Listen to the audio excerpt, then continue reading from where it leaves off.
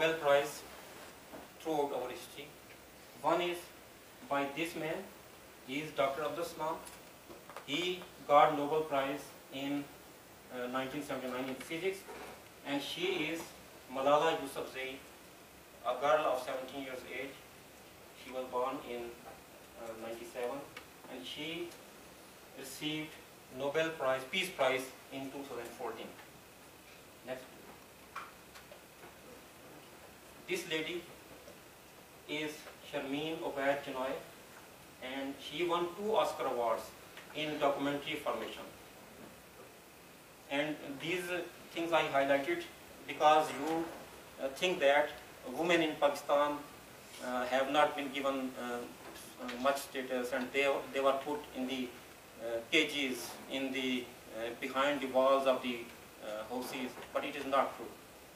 And I want to show uh, you something. These finds, uh, these are the women in action, air hostesses, naval personnel, military men, they are fighter pilots, sports, police services, they also, they are working with other sports, teaching, and this lady, you may know it, she is Benazir Bhutto, she was our international uh, leader and remained uh, the first ever lady prime minister of the Muslim world. Now I am coming to the point, relation between Pakistan and terrorism, which you uh, always consider when you think about Pakistan. First of all, I want to tell you about the definition of terrorism. It is the unlawfully using violence and intimidation, especially against civilians in the pursuit of political ends. And a person who commits this is called a terrorist. And Pakistan as a government did never used such unlawful violence, intimidation against the civilians Because Pakistan is an independent state. Although some people who are not related to Pakistan and Pakistan, who are not even loved by Pakistan, they are doing such kind of activities and they do, did not have even a minor sport in Pakistan. Because if they had some sport, then they might uh, be a strong political party to win the election, but they did not have political support. That is why they are uh, they are uh, using some uh, damned agenda and uh, harming Pakistan. Not not harming the world, but harming the our own country, Pakistan. These are the list of terrorist attacks we Pakistan had. Pakistan totally faced about 10,000 terrorist attacks after the incident of 9-11 when Pakistan supported US and the world. If Pakistan uh, had not supported the US, then these incidents would never be a part of our history. But we are facing this uh, scenario only as a result of our cooperation with the world and the US. And fi- fi- 50,000 people were died in these attacks. And on 16 December 2014, finally they attacked an army public school in Peshawar, where the uh, sons and daughters of these military men who were busy in fighting against terrorist elements, they were reading there. And at that point, our nation united. Our army chief was in much grief and said that they have attacked our heart. And so he started launched an operation Zarbe of No Radul Fasad and we have reduced the attacks which were in thousand in numbers, now they are only in twenties. Uh, this is the achievement of our military. Next please. These are the pictures of that cruel incident. See the blood of the students, the books, bags. This, this is the principal wall of the principal office. This was uh, in blood and we personally witnessed that. You uh, witnessed that on television, in media, and we personally witnessed that as uh, we faced this situation. But our nation did not lose hope. We are still determined to fight against the terror. Are you watching this small boy of eight year old? He, he was also injured in that attack. He, he was covered with blood. But he, he, he is raising a victory sign against the terrorists. He is saying that although we are facing these cruelties, but we are still determined to, to uh, defeat you. This is our determination. The world doesn't know this determination. They only know that we are supporting the terrorists. We are not supporting the terrorists. We are attacked by the terrorists. We are facing these attacks. And what we want from the world, we want help, assistance. Because whatever we are facing, this is only due to our policy of supporting the world and the US against terrorists. If Pakistan refused to do that, then these kind of incidents, our uh, children of 8 year old would not suffer such situation at all. Now I want to ask you a question. After listening this short story, is Pakistan a terrorist nation or terrorism effective nation? Please discriminate between these two. Pakistan is not a terrorist nation. We do not support these terrorists. We are against these terrorists. But it is difficult to, uh, if it is difficult to eliminate them because they have, uh, they have mixed themselves in our population. And we do not know, if, we are going to bazaar, we do not know the person is a uh, good person or a terrorist. But situation is uh, very changed after the military operations. And if anyone of you who want to visit our country, I think you would not have any problem there because we are very much safe these days. Thank you. What? Yeah, thank, Thank you. you. What I know that you are a good person. and um, having been to Pakistan three times, I can tell you that I was warmly welcomed. I never felt unsafe. Actually, one time only I felt unsafe. Uh, That's a whole different story. But, uh, uh, but for the most part, I have many close friends, including you. Uh, and actually, tomorrow we are proposing a new project that we hope UNO will be partnering with Pakistani universities. And it's a US State Department funded project. If we get this, I'll be coming back and I'll be enjoying my, uh, my time with your family in Rawalpindi. And I uh, assure all of you before this class that we will protect him I'm, I'm safe. I'm safe. at the cost of our and, and, and this is true. This is this is very true. That, that that- that in my experience, the Pakistanis who have befriended me truly would, at the cost of their very lives, protect me and the people that, that I was with. I, I couldn't couldn't uh, say more about that. So, let me ask: Are there any questions that you have for Qaiser? The border of Afghanistan, at one time it was being described as an ungoverned region within Pakistan, that they basically were sort of independent in a lot of ways. Is that still true? And from your experience, is that where most of the problems are coming from?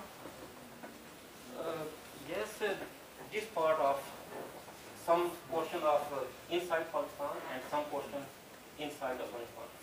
That is, uh, although we have launched some operations, Afghanistan government also tries to launch some operations, but these elements are hidden in this part of land. And this, this is a hilly area and uh, a very, uh, you can say that a heaven uh, for the terrorists to hide themselves. Uh, although the, both the governments are trying their best, but they could not manage it. But uh, the actual dilemma is that they have dispersed themselves in cities of Pakistan as well, in populated areas. That is the main problem.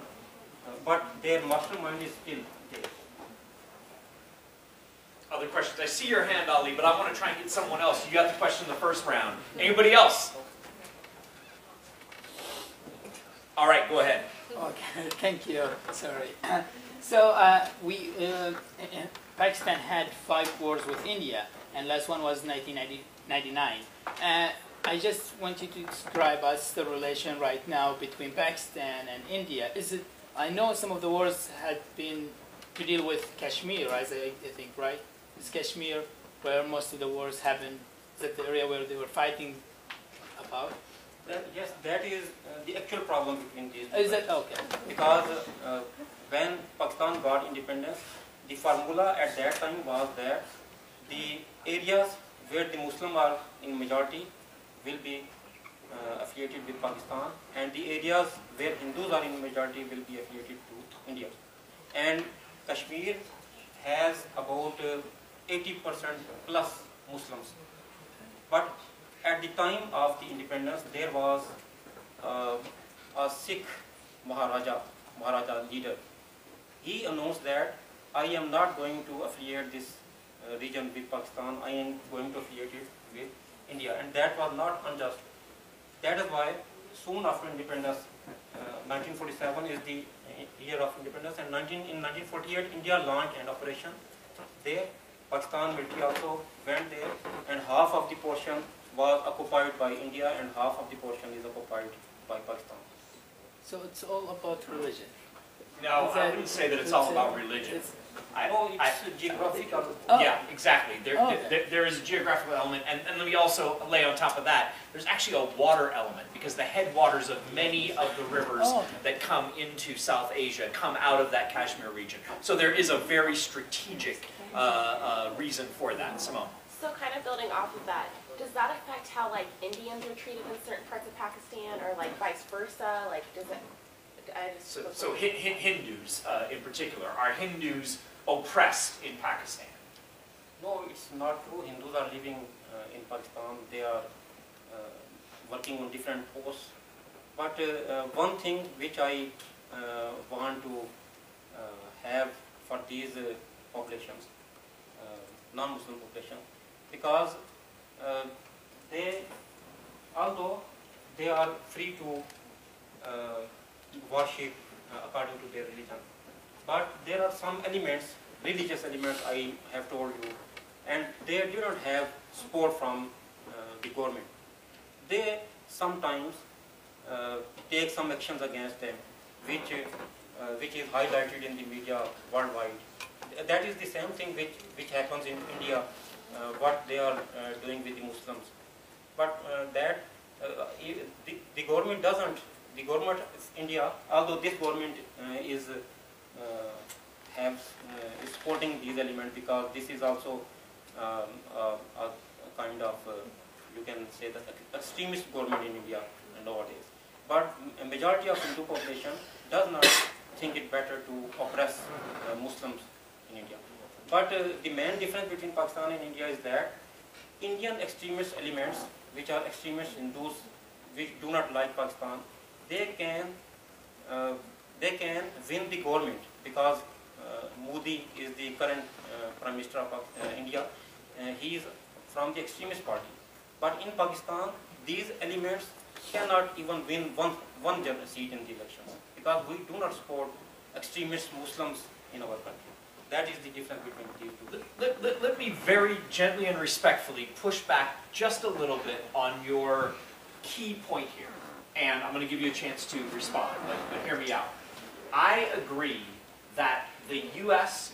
used Pakistan to fight against elements, especially during the Soviet occupation in Afghanistan, and through that created the Mujahideen, which later the Taliban and, uh, uh, and the uh, Al Qaeda. But it's also true that the ISI, which is like the special forces and CIA of Pakistan, has also at times strategically used some of these terrorist groups to, uh, to help their goals, to help further their goals in some particular cases. So it's, it's more complicated than just blaming the US or, or, or saying that there's a cause-effect relationship between the Pakistan helping the US in some of these terrorist uh, fights, and I agree with you on that, but then saying, and the reason for the rise of terrorism in Pakistan is because Pakistan has supported the US and the West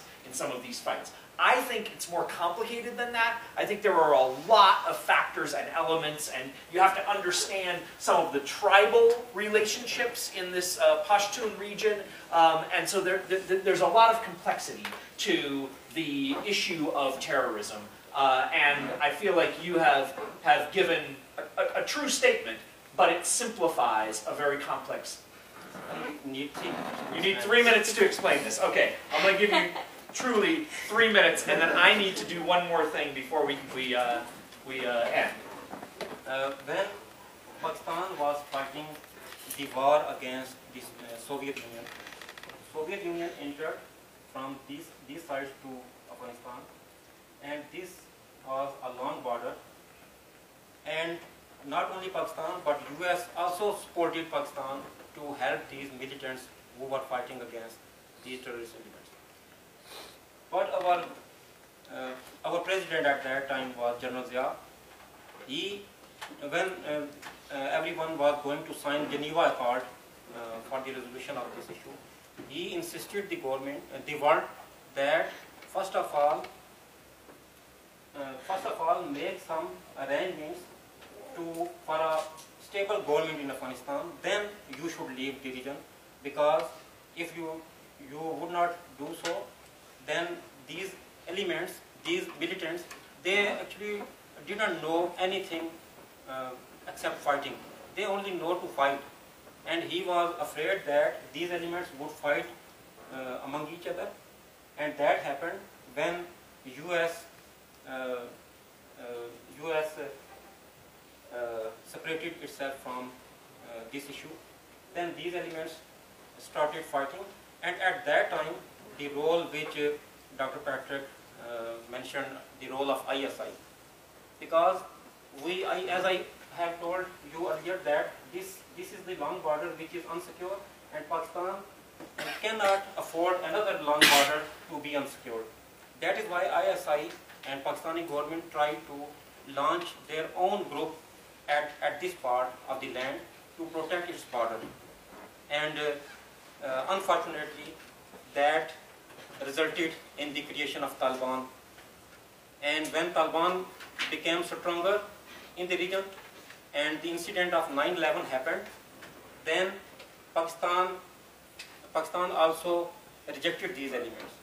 First of all, Pakistan um, tried to uh, convince these elements that uh, you have done a wrong thing with the US and you should surrender before, uh, before him and you, know, you should hand over Osama bin Laden to uh, the US forces. But they did not accept this offer of Pakistan. And at that time, Pakistan did not uh, remain neutral. Pakistan supported US and uh, allied, uh, forces against those elements. That, that's your three minutes, and that was a great explanation of, uh, uh, of some of that history. Now, let me just say, I, I actually have just read the chapter on the Geneva Accords, and I have to agree with Qaiser. He's, he's writing his dissertation right now. That's what he's here, um, and I'm guiding that dissertation process. He has written an excellent chapter on the Geneva Accords, and what you just said about General Zia and his prophetic words about what's going to happen in Afghanistan if you don't stay is exactly what happened. So I just want to want to compliment you on that. Let's give him a hand. Before I give you the review for the final, I'm going to ask if my friend Shams has anything to say about uh, uh, any, uh, maybe in response to any of the, the presentation that we just heard. Shams? Pakistan, Pakistan. What, what's there? Now there is not a border between Tajikistan and Pakistan. No. If you look, this little sliver of purple, exactly that little sliver of purple is what separates the two, very strategically and importantly, by the way. Anything you want to add? I, I do agree with my friend Faisal, but the only thing I want to add here, Pakistan, we do consider Pakistan as a very important part of the region.